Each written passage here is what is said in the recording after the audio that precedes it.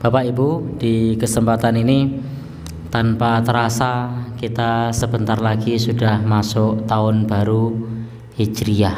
Jatuh pada hari apa Bapak Ibu? Ada yang bilang Sabtu, ada yang bilang Ahad.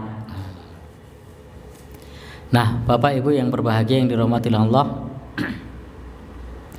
sebelum kita melanjutkan topik bahasan kita bahwa kita sebagai umat Islam berbeda dengan umat yang lain bahwa kita tidak diajarkan untuk membuat perayaan tahun baru sebagaimana orang-orang melaksanakan perayaan tahun baru Masehi. Jadi umat Islam tidak dituntunkan untuk seperti itu. Sebagaimana pula di zaman Nabi itu Nabi dan para sahabat belum memiliki kalender hijriyah sehingga praktis pada saat itu belum dikenal adanya awal dan akhir tahun karena kalender hijriyah belum belum ada. Kalender hijriyah baru dikenal oleh para sahabat tujuh tahun setelah Nabi Shallallahu Alaihi Wasallam wafat yang tujuh tahun setelah Nabi wafat, baru kemudian para sahabat bermusyawarah untuk membuat kalender sendiri. Karena sebelumnya para sahabat tidak menggunakan penanggalan sebagaimana saat ini, meskipun mereka mengenal bulan-bulan sebagaimana bulan Islam seperti Muharram, Sofar, kemudian Robiul Awal, Robiul Akhir, Jumadal Ula dan seterusnya mereka sudah uh, tahu tetapi mereka belum punya tahun 1, tahun 2, tahun 3. Sehingga kalau kita baca kitab-kitab sirah, kitab-kitab sejarah khususnya sejarah Islam itu sering disebut tahun satu kenabian. Tahun ketiga kenabian karena pada saat di Mekah memang belum mengenal tahun. Lalu bagaimana saat di Madinah? Sama, juga belum mengenal tahun. Sehingga pada saat itu tahun-tahun itu ditandai dengan peristiwa-peristiwa tertentu. Saya yakin Bapak, Ibu dan Saudara yang berbahagia kalau ada orang yang bertanya tahun berapa Nabi lahir itu biasanya tidak dijawab dengan angka Jawabannya tahun apa? Tahun gajah. Tidak disebut tahun 1, 2, 3, 4, 5 Tapi disebut tahun gajah Karena kebiasaan masyarakat Arab pada saat itu Mengenali tahun dengan peristiwa-peristiwa yang terjadi pada tahun itu Karena di tahun lahirnya Nabi Kurang lebih dua bulan sebelum Nabi lahir Itu terjadi penyerangan Ka'bah. Oleh Abrohah yang pada saat itu naik gajah. Sehingga yang diingat adalah peristiwa gajah itu sehingga disebut tahun gajah. Tapi mereka tidak tahu ini tahun 1, 2, 3, 4 atau 5 kalau ada orang yang bertanya kapan meninggalnya Khadijah tidak dijawab dengan angka jawabannya adalah Amul Husni tahun duka cita atau tahun kesedihan Bapak Ibu yang berbahagia yang dirahmati Allah, demikian pula e, perjanjian-perjanjian penting itu tidak dicatat tahunnya, hanya disebut Amul Hudaibiyah. Tahun terjadinya perjanjian Hudaibiyah. Kondisi ini berlanjut sampai zaman Khalifah Abu Bakar. Sampai kemudian zaman Khalifah Umar bin Khattab. Nah pada masa Khalifah Umar bin Khattab kekuasaan Islam sudah menyebar luas ke mana-mana termasuk menguasai Syam, Mesir dan wilayah-wilayah strategis lainnya sudah dikuasai oleh umat Islam mereka sudah berislam gubernurnya sudah Islam koordinasi pemerintahan pada saat itu menggunakan cara surat menyurat Jadi zaman itu antara Amirul Mukminin dengan para gubernur mereka berkirim surat. Zaman itu belum ada telegram, WhatsApp apalagi. Jadi belum ada, telepon juga belum ada. Sehingga jasa yang digunakan adalah jasa kurir. Ketika kurir diutus oleh Khalifah Umar bin Khattab untuk mengirim surat kepada para gubernur, ternyata surat-surat tersebut tidak bertahun ini suratnya tidak ada tahunnya. Problem saat itu tidak mesti surat yang datang duluan itu adalah surat yang ditulis duluan. Bisa jadi surat yang ditulis belakangan sampai lebih dulu daripada surat yang pertama. Kenapa? Karena kurir yang diutus bisa jadi sakit di tengah jalan. Sehingga begitu diutus kurir yang kedua, kurir yang kedua sudah sampai, yang pertama belum. Kenapa? Dalam masa penyembuhan. Bayangkan perjalanan dari Madinah sampai ke Syam berapa kilometer? Sampai ke Mesir berapa kilometer?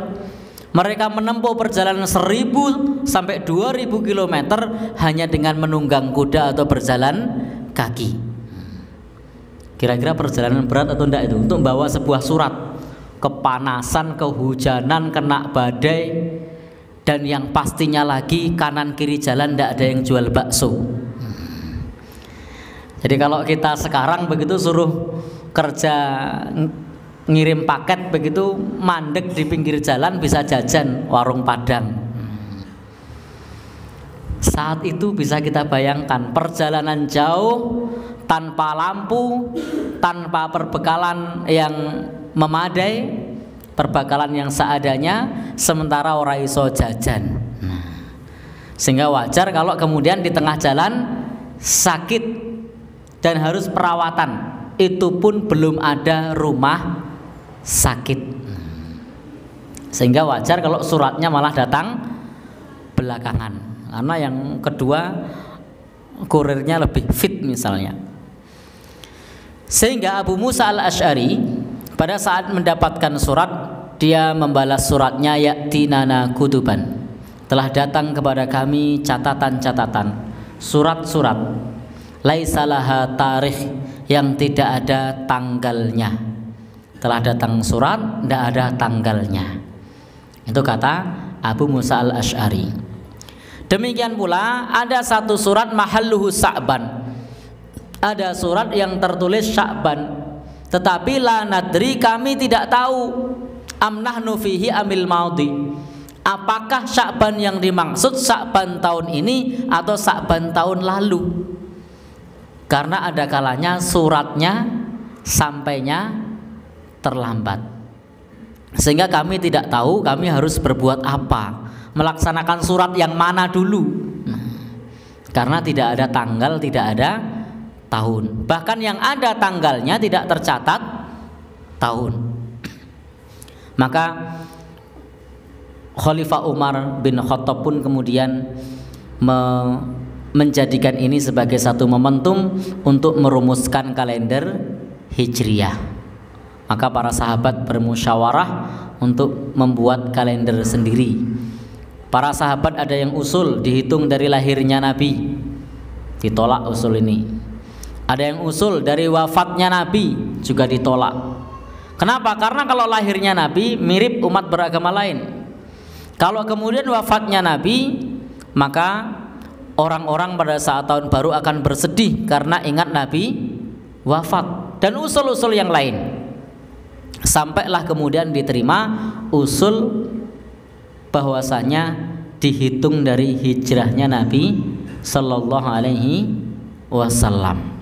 Maka tahun Islam pada saat itu dihitung dari hijrahnya Nabi dan itu sudah tahun 17 sehingga kalender Islam itu ujuk-ujuk mak bedunduk langsung tahun 17 jadi pada saat dirumuskan disepakati itu sudah tahun 17 Hijriyah tidak mulai dari tahun 1 nah, sehingga Bapak Ibu yang berbahagia patokannya adalah hijrah Nabi Sallallahu Alaihi Wasallam.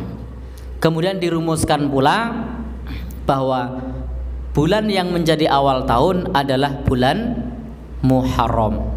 Padahal Nabi hijrahnya bulan apa? Bukan bulan Muharram. Nabi hijrah itu tidak di bulan Muharram.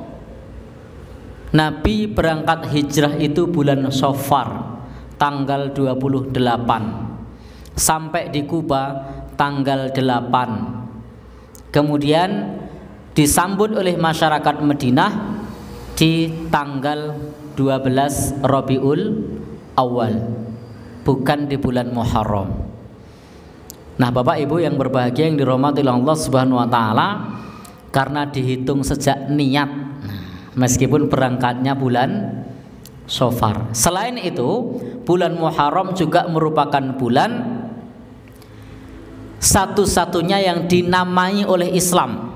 Karena bulan-bulan ini sudah dikenal oleh umat terdahulu. Umat-umat sebelum Islam, pra-Islam pada saat itu sudah tahu Sofar, Rabiul Awal, Rabiul Akhir, Kemudian juga bulan-bulan yang lain, bulan Islam mereka sudah kenal, Dhul Hijjah mereka juga sudah kenal, bulan untuk berhaji, Syawal mereka juga sudah kenal, bulan-bulan haram juga sudah kenal. Tetapi tidak ada bulan Muharram. Jadi zaman dulu sebelum Islam datang tidak ada bulan Muharram. Kalau gitu bulannya cuma 11 tidak, bulannya tetap 12. Lu kok bisa? karena dulu sofar itu ada dua. Ada sofar awal ada sofar thani. Sofar awal kemudian diganti nama menjadi muharram. Baru kemudian sofar sani saninya dihilangkan menjadi sofar. Maka bulan muharram menjadi satu-satunya bulan yang dinamai oleh Islam yang dinamai oleh Allah. Sehingga sampai-sampai Nabi mengatakan sebagai syahrullah bulan Allah. Karena Allah yang menamai bulan Muharram. Sehingga beliau bersabda afdalus syam ba'da Ramadan syahrullahil Muharram. Puasa yang paling utama setelah Ramadan bulan Allah yaitu bulan Muharram disebut bulan Allah bulan Muharram Muharram ini artinya yang disucikan, yang dimuliakan. Sehingga bulan ini bukan merupakan bulan yang sial, bukan merupakan bulan yang keramat, maka tidak usah takut untuk menikah. Tidak usah takut untuk bangun rumah, tidak usah khawatir untuk bikin sumur. Karena orang dulu kalau bulan Muharram atau sasi suro itu mau menikah takut bikin sumur ndak mau. Bangun rumah dinteni sik arep munggahke mulu mengkon dhisik. Nah, itu zaman dulu begitu. Nah kita umat Islam hanya cukup bertawakal kepada Allah. Kita tidak boleh untuk punya keyakinan seperti itu. Karena semua bulan di sisi Allah adalah bulan yang baik jadi tidak ada yang sial, tidak ada yang keramat. Kalau dalam sejarah justru malah pada saat itu Nabi Musa alaihi salam bersama dengan para pengikutnya diselamatkan oleh Allah. Sementara Fir'aun bersama dengan pengikutnya justru ditenggelamkan. Itu terjadi di bulan Muharram. Maka kalau disebut bulan sial bagi Fir'aun dan bala tentaranya dan pengikutnya, nah itu betul. Karena pada saat itu Fir'aun dan pengikutnya itu ditenggelamkan oleh Allah Subhanahu wa taala di Laut Merah. Tapi kita tidak boleh meyakini dengan keyakinan-keyakinan seperti itu. Allahumma la illa wa la illa khairuka. Kita tidak boleh tiarah tidak boleh menganggap sial dengan burung tertentu dengan bulan tertentu.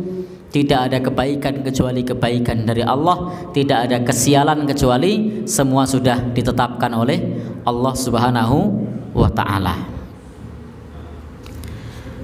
Bapak dan Ibu yang berbahagia yang dirahmati Allah Subhanahu wa taala itu sedikit mukotimah yang berkaitan dengan bulan Muharram maka praktis karena di zaman Nabi belum mengenal tahun, maka Nabi tidak mengajarkan kepada kita doa awal dan akhir tahun. Jadi kalau ada doa awal dan akhir tahun yang mengatasnamakan Nabi itu lucu. Tahunnya belum dibuat kok sudah ada awal dan akhir tahun. Kalau ada yang mengatasnamakan doa dari Nabi jelas tidak mungkin itu bikinan pastinya bukan dari Nabi tetapi bikinan orang lain. Karena pada saat itu tahunnya saja belum belum ada. Maka tidak ada amalan-amalan tertentu yang kita lakukan pada saat akhir maupun awal awal tahun. Tidak ada. Tidak perlu pula kemudian melek wengi. Jadi karena biasanya orang dulu kalau mau malam tahun baru hijriah itu direwangi melek wengi. Ada yang tidak melek wengi melaku waduh ke mana? Ya? Ke Samas. Nih Pak Tujio ngendiko Samas atau Parang Tritis. Jalan kaki ya, tidak ada tuntunan seperti itu cukup kita semua kalau mau mengevaluasi silahkan dievaluasi diri kita Sudahkah kita di tahun yang lalu menjalankan kewajiban dari Allah? Sudahkah dosa-dosa besar kita tinggalkan, dosa-dosa kecil kita tinggalkan? Sudahkah sunnah-sunnah Nabi kita kerjakan? Itu bisa dievaluasi agar tahun-tahun yang akan datang kita bisa menjadi lebih baik.